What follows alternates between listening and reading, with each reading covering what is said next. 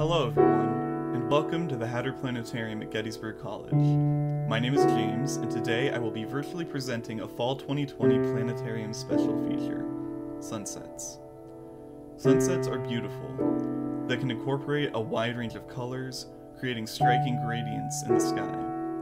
Though officially, the Hatter Planetarium never recommends looking directly at the sun, sunsets can often provide an opportunity to make out the disk of our star given the increased cross-section of atmosphere its light passes through when near the horizon.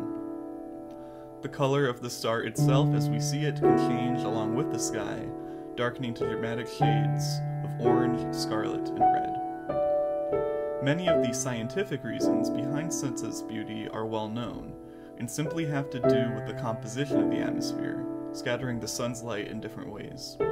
The daytime sky appears blue to our eyes because the size of the air molecules in the atmosphere is most similar in size to the smaller wavelengths of blue and violet light. Therefore, the atmosphere scatters these wavelengths, which then become visible to us as a characteristic sky blue. During sunsets, however, sunlight has a less direct path through the atmosphere before reaching our eyes.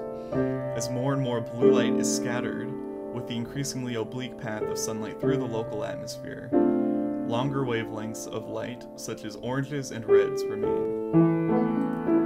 This diagram from NOAA.gov illustrates this phenomenon. It's good to remember that one sky's sunset is another sky's high noon. Phenomena like dust, pollution, and clouds can play complicated roles in how we view the sunset. Though it is sometimes thought that dust and pollution create more vibrant sunsets, the opposite effect is usually true. Clouds and other large particles suspended in the atmosphere tend to dull the vibrant colors by reducing the total amount of light that reflects through the atmosphere into our eyes.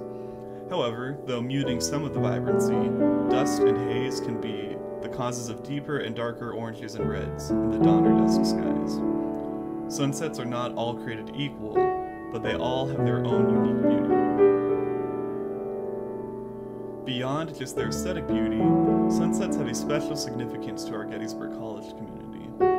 I remember on my first tour at Gettysburg, my tour guide told me to keep my eye on the sky around twilight, that Gettysburg sunsets were the prettiest she had ever seen. I've been doing so for my three and a half years at Gettysburg, and I have to say I agree with her. I think many other Gettysburg students would say the same. In fact, I was inspired to write this show at the end of the last week of on-campus classes this semester, when I remarked just how many of my friends who were on campus were sharing pictures of their last Gettysburg sunset of the year.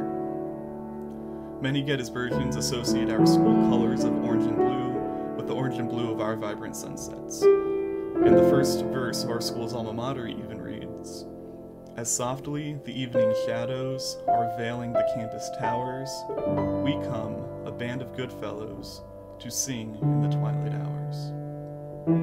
Sunsets are important to Gettysburg, and much like the diversity that exists between different types of beautiful sunsets, I think sunsets can have various meanings for each member of our community. They can be a time for quiet celebration, of a day of Gettysburg great work, an opportunity for a quick picture to text to friends or family back home, or a longer moment of reflection on a hard week or on a bittersweet semester. This semester, and the whole of 2020, were difficult times for the Gettysburg College community, as with many communities worldwide. In our Gettysburg context, what our shared love of sunsets represents to me more than anything is our ability to find and appreciate beauty in our community, no matter the circumstances. Several Gettysburg community members submitted photos, both from in Gettysburg and from far away, to be featured in this show. I was remote for the entirety of the semester, but seeing my friends' sunset photos and looking out my own window at the sunset each evening helped me feel more connected to Gettysburg even so.